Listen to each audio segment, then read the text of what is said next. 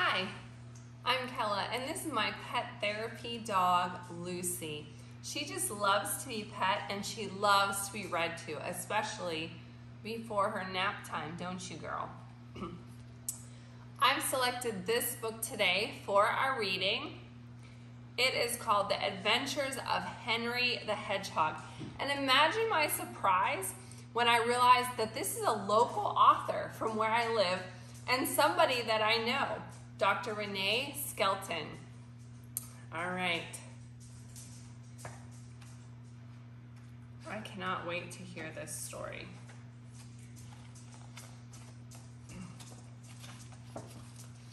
On most sunny days, you can find Henry swimming in a small watering hole near his house. Today was no exception. Excited to cool off, he scurried off to another adventure. This time, he was going to meet his best friend, Patrick, to swim the entire day. I love spending my day doing that. Lucy can't swim. But she likes to lay in the sun, don't you, girl? Have you ever met a hedgehog? I haven't, only at the zoo. Oh, there's my other buddy, Smokey. As Henry approached the water, he heard a soft whispering, whimpering by a tree. Henry wanted to find out what he was hearing, so he quickly followed the sound. There, slumped against the tree, was a black and white skunk who was crying. Are you a skunk? You're black and white. No. Smokey's a border collie. You want to get in on story time, pal? Have a seat.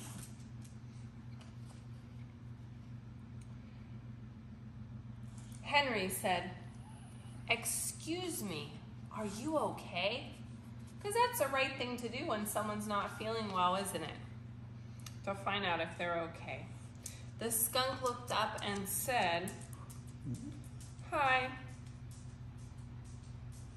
I'm, I'm okay. The skunk did not look okay. Look, he even has a tear in his eye.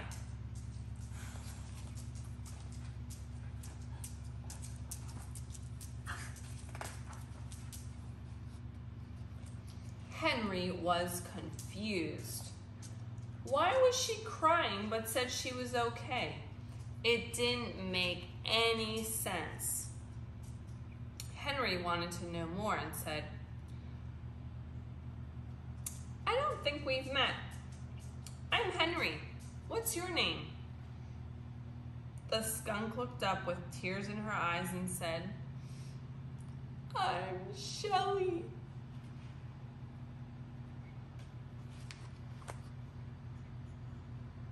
This book has some fun facts on the bottom of the pages about the animals too.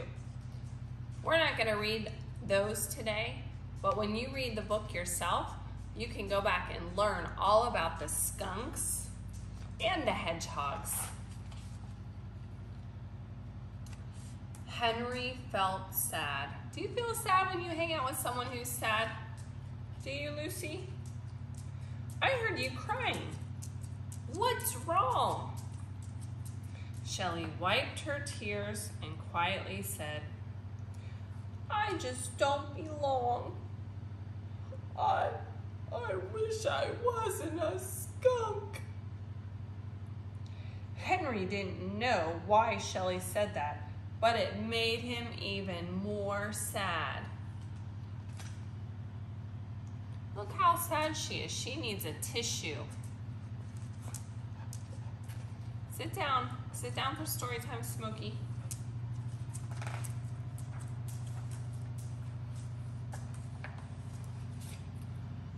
Shelley continued. An otter named Olivia told me that stinky skunks are not allowed in the water and then called me Smelly Shelly. It made me sad. It's not nice to make fun of people or call them names, is it? Huh, Lucy? It makes anyone feel bad. Henry could not believe his ears. He did not understand why someone would call her smelly and be so mean. Again, he felt bad for his new friend.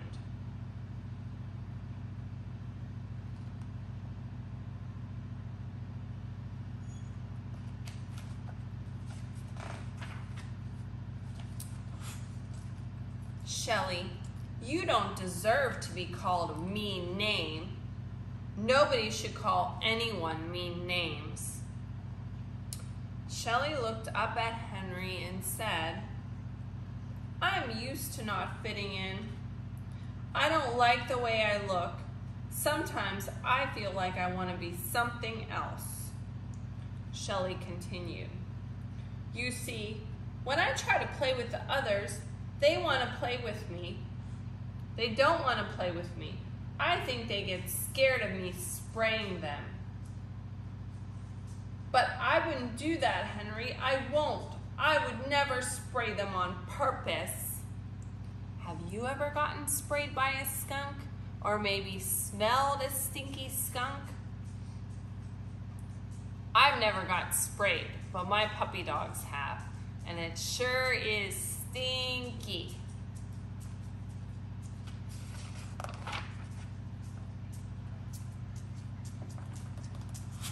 But it's their defense mechanism, right? That's how the skunk protects themselves from predators and scares them away.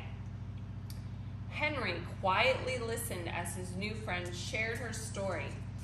I wear beautiful scarves to hide my stripes so that they can't see it. I even spray perfume to cover up my scent, but they still don't want to play with me. As Henry listened, he thought of the many times he felt like he didn't belong, and it made him sad.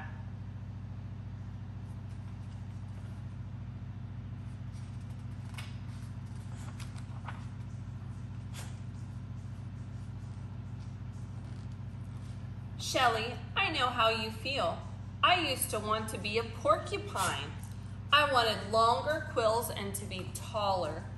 But I realized that's not who I am. I'm a hedgehog, not a porcupine. Shelley listened closely to Henry. She knew he understood her sadness. Henry, how did you make yourself feel better? Henry was eager to share. Hmm. Did you tell someone how you felt when you were sad? There's lots of people you can go to. You can tell a friend, a brother or sister can give you a big hug. A puppy is always willing to give you a hug and a lick on the face. You can talk to your parents, or maybe a teacher, or a counselor, or a coach. There's so many people that care about you that if you're sad, you can go and tell someone.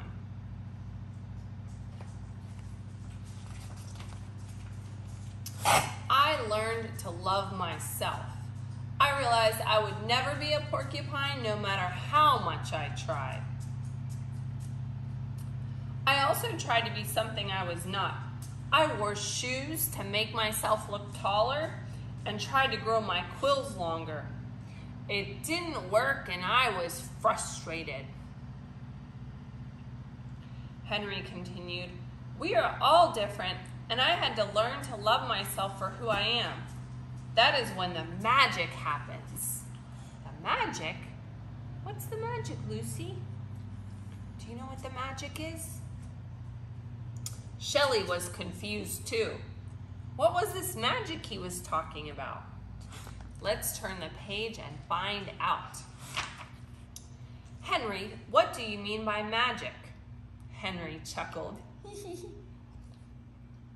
the magic of belonging, not just fitting in. When you feel like you matter, you begin to love yourself. Then you don't care as much what people think about you. Henry's words made Shelley smile. Henry, may I ask you a favor? Sure, Shelley. Would you mind going to play with me in the water? Hen- Henry quickly agreed, and they both headed to the watering hole.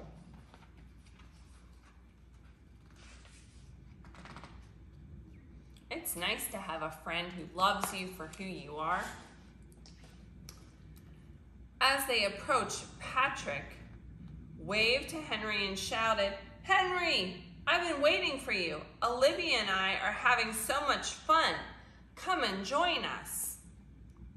Suddenly, Olivia realized that Shelley was with Henry and said, Wait! Smelly skunks are not allowed in the water. And that means smelly Shelley. But Henry can join us. That's so mean. Have you ever had a friend tell you that you couldn't play with them? How did that make you feel? I think it would make me feel sad. I would feel left out.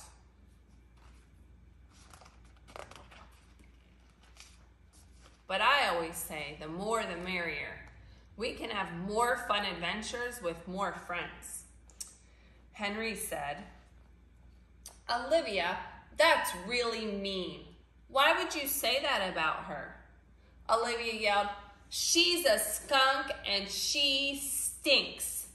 P.U. Shelley quickly replied, Yes, I can smell bad at times, but that's only when I get scared. When you call me Smelly Shelly, it hurts my feelings and makes me sad. Henry was proud of Shelley for standing up for herself.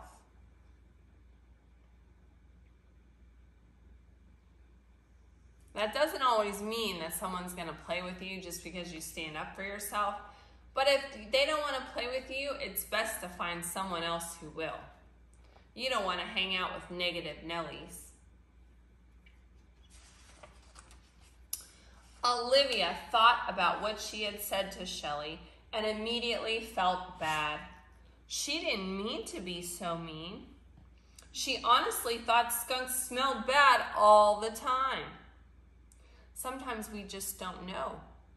We judge someone from the outside by what we think we know or what they look like, and that's just not nice or fair. And sometimes we really miss out, don't we, Lucy? I had no idea skunks smelled only when scared. I thought they were always smelly. I'm sorry for being so mean, Shelley.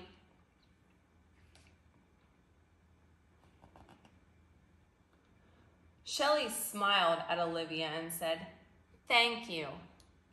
I just want to have fun and be part of the group. Olivia agreed and stated, Well, let's go have some fun. They spent the rest of the afternoon laughing and playing in the watering hole. Sometimes when we make judgments about other people, we're totally wrong because we just don't know. And so when we get to know people, we can love them for the person that they are. Have you ever thought something was true about someone and then later you found out you were wrong? I bet that made you feel kind of bad. But it's nice to learn about other people and be open to new experiences with new friends. As they were about to leave, Shelley hugged Henry and said, Thank you for the gift you gave me and for being a good friend. That's what good friends do, right? They stand up for each other. Henry smiled and asked, What gift did I give you? Shelley winked at Henry and said, You taught me to love myself. Henry smiled, You're very welcome. That's what friends are for. It's so important to love yourself. Whether you have straight hair or curly hair, blue eyes or brown eyes, or short or tall, maybe you have special gifts. Maybe you're creative and like to draw. Or maybe you're athletic and like to play sports. It's important to love the person that God made you. What are the good things about you that make you different from others? You know, I have a secret to tell you. When I was younger, I was embarrassed by my name because it was different. My name is Kella Blue, blue like the color. And I thought that was kind of silly. And people are always asking me why my name was the way it was. And I kind of got tired of explaining myself because I didn't really have a good answer. But, you know, being different is not always bad. It makes you memorable. And again, you have to love the person that you are and the person that God created you to be. We're all unique in our own special way. And that is the end of our story. How did you like that story with Henry the Hedgehog? Did you like it, Lucy? Just like we're all different, dogs are different too. And we love Lucy for her wrinkles.